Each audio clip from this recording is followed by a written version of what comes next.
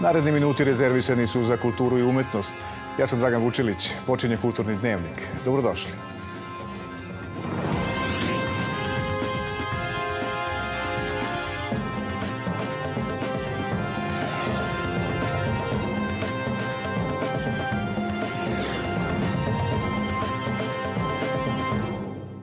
Evo šta smo pripremili za ovo izdanje. Predstavljamo dokumentarni film Slučaj Makave, vreditelja Gorana Radovanovića. Tema kulturnog dnevnika je knjižara Geca Kon. Vodimo vas u Bečki Volksteatar na premijeru predstave Kuća vlasnik i Pali kuće. Objavljen je februarski broj časopisa Kinoteka koji je znatnim delom posvećen nedavno preminulom filmskom velikanu Dušanu Makavevu. Novo izdanje donosi intervju sa rediteljem Goranom Radovanovićem o njegovom novom filmu Slučaj Makavev, koji će premijerno biti prikazan na predstojećem 47. festu.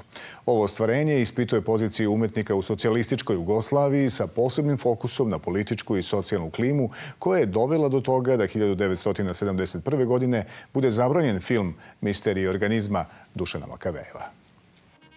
Film VR Misterije organizma je zabranjen 1971. godine, nakon javne diskusije u Novosadskom bioskopu Arena. Audio snimak diskusije, na kome možemo čuti početak odbrane Makaveva, čini okusnicu dokumentarca Gorana Radovanovića Slučaj Makavev ili Proces u bioskopskoj sali. Ne bih hteo da se sada to upotrebljava tako da mi se kaže ti si pristao na to da je film politički, tvoj film je pre svega politički i znači ima da ti se sudi politički, odnosno film ima da se tretira kao politički čin. 48 godina kasnije protagonisti tonskih zapisa slušaju šta su govorili. U filmu učestvuju Ilija Bašić, Slobodan Miletić, Andrej Popović, Petar Volk, Branislav Dimitrijević. Goran je mene pozvao iz jednog jednostavnog razloga zašto je moj otac koji je nažalost preminuo pre pet godina, ovaj, učestvovao u tom čuvenom razgovoru u Novom Sadu kad je pokrenuta hajka protiv, odnosno kad je sovjetska ambasada zapravo pokrenula hajku protiv toga, e, toga filma i on je bio jedan od tih ljudi koji su stali u odbranu toga filma. I onda je Goran ovaj, budući da se ja bavim Makavevom, onda je Goran mene zamolio da nešto preslušam zapravo to što je moj otac govorio i nešto kažem u to filmu. Dok je u Jugoslaviji bio zabranjen punih 17 godina, VR misterij organizma istovremeno imao uspešan internacionalni život i bio još jedan autentičan doprinos Dušana Makaveva istoriji svetskog filma. Mak je bio i filozof i, kako da kažem, politički mislalac takođe, osim što je bio filmski izumitelj. U njegovim filmama postoji istovremeno i kritika tog takozvanog državnog socijalizma, e, i kritika e, jednog novog oblika kapitalizma koji koji danas zapravo vidimo, a to je taj takozvani neoliberalni kapitalizam. Slučaj Makavejev jeste omaž velikanu, ali i filmu uopšte i slobodi umetničkog izražavanja. U dokumentarcu se kao Makavejev pojavljuje Svetozar Cvetković, a poslednji put na filmu i Makova heroina, Milana Dravić. Scenograf Geroslav Zarić je ovogodišnji dobitnik statuete Joakim Vujić, koja se dodeljuje za izuzetan doprinos razvoju pozorišne umetnosti, saopšteno je iz Knjaževsko-srpskog teatra u Kragujevcu. Ovo značajno priznanje će uglednom scenografu biti uručeno na dan pozorišta 18. februara. U galeriji 73 otvorena je izložba Svetlucanje u nama Aleksandre Rakonjac. Izloženi radovi su realizovani neobičnom tehnikom, papirnom pulpom, bojnom u procesu rada i povezanom u jedinstvene instalacije. Inspiraciju za svoje radove Aleksandra Rakonjac pronalazi u svetlosti. Postavku čine radovi rađeni papirnom pulpom, čiji su delovi povezani najlonskim koncem. Nepredvidivost kretanja papirne pulpe, boje koja u vodi beži pod rukom, nepredvidivost konačnog oblika, slike ili otiska podsjećaju na stvaranje sveta. Ovoj izložbi radi se o unutrašnjoj svetlosti ljudi. Ljudi su svetleća bića i međusobno su povezani. Svako od nas u sebi nosi neko iskustvo, e, osobine, karakter, emocije i sve to zajedno čini zemlju e, kao jedno jedinstveno biće. Svaka različitost pojedinačnog dela Aleksandre Rakonjac dragocena je u celini i obogaćuje celokupan utisak. Obraćanje pažnje na deo i posmatranje dela poštujući njegovu individualnost pojašnjava viđenje celine koja dobija svoj novi oblik i novu suštinu refleksijom pojedinačnog. Taj segment ima neki svoj oblik i drugačije oslikan. To znači da je svaki čovek drugačiji, e, svi u sebi imamo tu svetlost, ali svako od nas daje lepotu u stvari e, tom zajedničkom postojanju na zemlji. Izložba Svetlucanje u nama u Galeriji 73 će biti otvorena do 12. februara. Stigla nam je i vest da će jedan od najpoznatijih baletskih umetnika današnjice, koreograf i glumac Sergej Polunjin, igrati pred beogradskom publikom tri večeri zaredom 7., 8. i 9. marta na velikoj sceni Narodnog pozorišta. Igraće glavnu ulogu u baletu Posvećenje proleća. Stvaralaštvo i intrigantan životni put Nika Cave-a poslužili su kao inspiracija nemačkom ilustratoru Reinhardu Kleistu za neobičnu strip biografiju poznatog muzičara pod nazivom Nick Cave Smiluj mi se. Nick Cave, pesnik lepote i ponora ljudske duše, suptilna rock zvezda koja ne bledi i istrajeva decenijima, vođen Erosom i Tanatosom sa harizmom koja privlači poštovaoce različitih generacija, oslikan je u remek delu grafičkog romana, od detinjstva i godina u kojima se formirao kao umetnik do svetske slave. Mi vidimo njega još u detinjstvu, kao školarca, vidimo ga kao dečaka koji poprima uticaj od svog oca koji ga upućuje u razna književna dela. Čak se kaže tamo Nabokov, Dostojevski i Šekspir. Kroz njegove faze u Londonu i u Berlinu. Nick Cave, Smilo mi se, je više od biografije. Između stvarnosti i fikcije, oniričko iščitavanje životnih faza i stvaralaštva Nika Cave-a, čiji je uvek beskompromisni kredo bio iskaži sebe. Nit koji se provlači kroz ceo roman, to je njegovo nepristajanje na tapkanju u mestu. Na volja da se žrtvuje i on sam, da kažem da žrtvuje i junake iz svojih pesama, e, tome da se ne tapka u mestu i da se dođe do uvek nekog novog izraza kojim će se on kao autor više iskazati. To je ono što on upućuje i kao izazov publici. To se vidi u romanu. Znači, on i od publike traži da se iskaže. Grubost i humor grafičkog izraza Reinharda Kleista i nelinarna naracija tvore priču bližu istini od bilo kakve biografije, kako je sam Nick Cave rekao. Prošlo je tačno 10 godina od kako je 6. februara 2009. knjižara Geca Kon proglašena spomenikom kulture i našla se pod zaštitom države. Odluka je doneta uz punu podršku tadašnjeg Ministarstva kulture i kulturne javnosti koja je vodila kampanju da se knjižara sačuva. Da li je nekadašnje kultno mesto, pre svega intelektualaca, uspelo da od kulturnog nasleđa koje baštini u ovom novom vremenu napravi brend, tema je kulturnog dnevnika. U trenutku kada su se knjižare po Srbiji gasile, knjižara Geca Kon je sačuvana kao deo kulturnog nasleđa. Pre deset godina mi smo zaštitili objekat, zaštitili smo njegovu namenu i uputili smo jednu jasnu poruku da kulturno nasleđe Beograda i kulturno pamćenje Srbije Gecu Kona ima kao važan miljokaz, kao važnu tačku. I ova knjižara jeste ta vrsta miljokaza u kojoj se susreće prošlost, sadašnjost i budućnost. Kada govorimo o knjižari Geca Kon, govorimo pre svega o jednom važnom mestu za srpsku književnost 20. veka. Gotovo da nema pisak koji nije došao ovde, seo za tamo za onaj solon od Vaske Popa, Dobrice Ćosića, Matija Bečkovića, Pomenuo sam i Miodraga Pavlovića i Sevu Rajičkovića.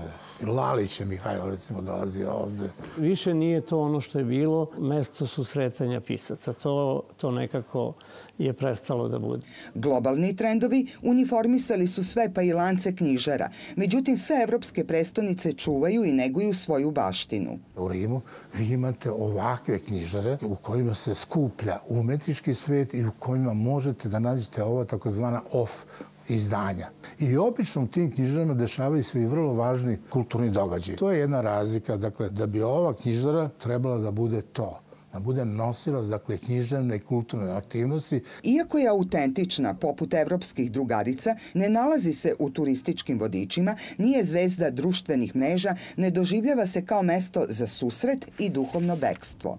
Sve te knjižare u Parizu, Londonu, svugde, a, ne moraju da imaju podršku države, ali a, ih niko ne ometa.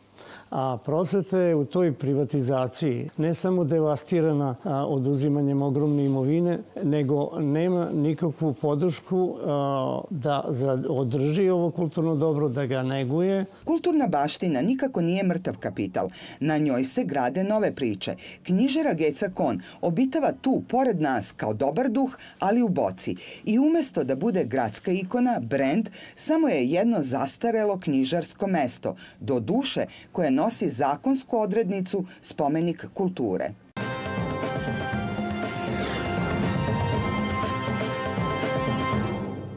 U Beču je u Volksteatru premijerno izveden komad Kuće vlasnik i palikuće Maksa Friša. Predstavu je režirao Viktor Bodo kao crnu komediju aktuelnih političkih konotacija. Reditelj Viktor Bodo, koji ostavlja upečatljiva dela po scenama Nemačkog govornog teatra, inscenirao je Frišov najpoznatiji komad kao absurdnu vest iz novina – Kućavlasnik, u originalu Biderman, po smislu nešto kao imućan i situirani malograđanin, sažali se na lutalicu i pusti ga u kuću. Od jednog beskućnika postaju trojica palikuća, kojima Biderman na kraju dobrovoljno dodaje šibice. Na šta se misli? Na migracijonu krizu?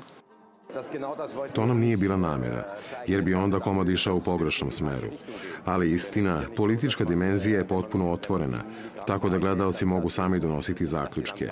Pa i taj da se ovde tematizuje strah domaćih pred aktuelnim migracijnim talasima, ali i dolazak političke desnice. Glavni lik nije dobar čovek, ali duboko veruje da jeste, što je isto opšta društvena tema. U ovoj predstavi otkrivaju se opšti psihološki mehanizmi. To da su ljudi jako dugo u stanju da ignorišu opasnosti i da misle da su je oterali zgodnom frazom ili dobrim vicem. Ljudi ne žele istinu ako im se ne dopade. Kuću uvek gore nekom drugom. Izmenjivi tempo, potpuri motiva popularne kulture, sarkazam, mazohizam, arogancija spajaju se u efektu grubog humora kojeg je najlakše objasniti srpskom poslovicom pomoze sirotu na vlastitu sramotu. Po političkoj poruci ovo je najkonzervativnija režija poslednjih godina na bečkim scenama. Reditelj Bodo otvoreno ismejava današnjeg evropljanina koji je izgubio svaku predstavu o tome da je svet bio i ostao opasno mesto.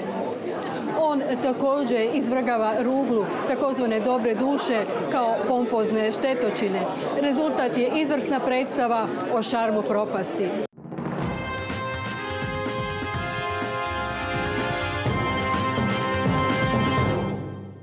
Gost kulturnog dnevnika je novinar, pisac i kolumnista Branko Rosić. Povod je njegov novi roman Za sutra najavljuju konačno razvedravanje.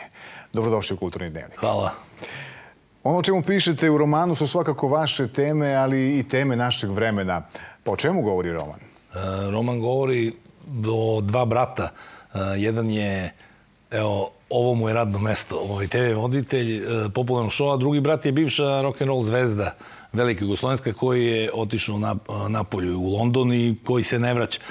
Ne bi ja pričao, treći je migrant iz Sirije i onda je krešendo na kraju romana da ne bi otkrivao, ali ne, ne bih rekao samo da je to roman o migracijama, ali jeste o migracijama. O migracijama što sobstvenog života, što i geografska migracija iz zemlje, ali bavi se tranzicijom, bavi se srpskom tranzicijom, bavi se uh, Brexitom, bavi se evropskom situacijom, bavi se jednostavno savremenim trenutkom, a uz dosta ljubavi i po jedno ubistvo. Nosilac ste ordena Britanske kraljice za izuzetan doprinos u promovisanju i napređenju kulturnih veza između Velike Britanije i Srbije. Veliko priznanje, čime ste ga zaslužili i recite nam kako biste uporedili ove dve kulture. Zaslužio sam ga To je na njima da kažu. Oni su odlučili da se, da se zaslužio. Zaslužio sam ga tako što sam ja bio jedan od prvih muzičara koji se pojavio u New Music Expressu, pa se pojavljivao u nekim fanzinima i onda kako su rekli e, diplomata engleske, ja sam kao čovjek koji je radio na terenu, pa kad poredim kulture, ja sam se trudio da nađem one, da iznivelišem, da nađem one sličnosti između Srbije i Britanije, pa sam to radio ili u onim popularnim serijama gde sam radio to iz Londona, što čak i pričama naših ljudi koji žive tamo pa pričama Engleza koji žive ovde. Bilo je toga dosta, a ja sam simbolično rekao sve je to odredilo što sam prohodao u Hyde Parku ovde u Beogradu, a otišao u engleskom autobusu u Leyland. Ovaj, kulture su takve da mi uvijek kažemo, pa dobro, engleska majka tabloida ima puno tabloida, ali ima tamo i Guardian, gde ima puno vesti o filmu i pozorištu. Urednik se stranica kulture u magazinu Nedeljnik. Kako komentarišete prisustvo kulture i umetnosti u našim medijima, a kako položaj novinara u ovoj sredini? ja uh, volim onako nekad zamisli da, da kažem da sam odrastao u vreme, ali da ne budem nostalgičan. Odrastao sam u vreme kada je u dnevnim novinama bila kritika i baletske predstave. Danas živimo u vremenu kad nema skoro ni jedna knjižana kritika, ni filmska kritika. E, živimo u, u doba skandala, nije to samo tabloid, nego tako i kultura počinje da zauzima udarna mesta u udarnim vestima kad je pitanje skandala, da li promena neka u kulturnoj instituciji ili neki, neki celebrity skandal koji, koji, tako da je, a ono nešto, sam repertoar, sama kultura, ona je negde na dnu. A to nije ona floskula da pričamo kao nekada je bilo ovako ili onako, kultura treba da zauzima mesto, nego jednostavno imamo u medijima loš tretman kulture. Međutim, u životu imamo fantastičan, ja sam to često pričao, imali smo prepune koncerte, bioskopske predstave, nekoliko filmskih festivala koje je opstalo, ali jednostavno medijima to možda nije zanimljivo. Neka bude, kao i u naslovu vaše knjige, lepše vreme i razvedravanje. Tako je. Hvala vam na gostovanju u Kulturnom dnevniku. Hvala vama. Hvala i vama na pažnji, poštovani gledalci. Gledali ste Kulturni dnevnik. Ostanite uz RTS.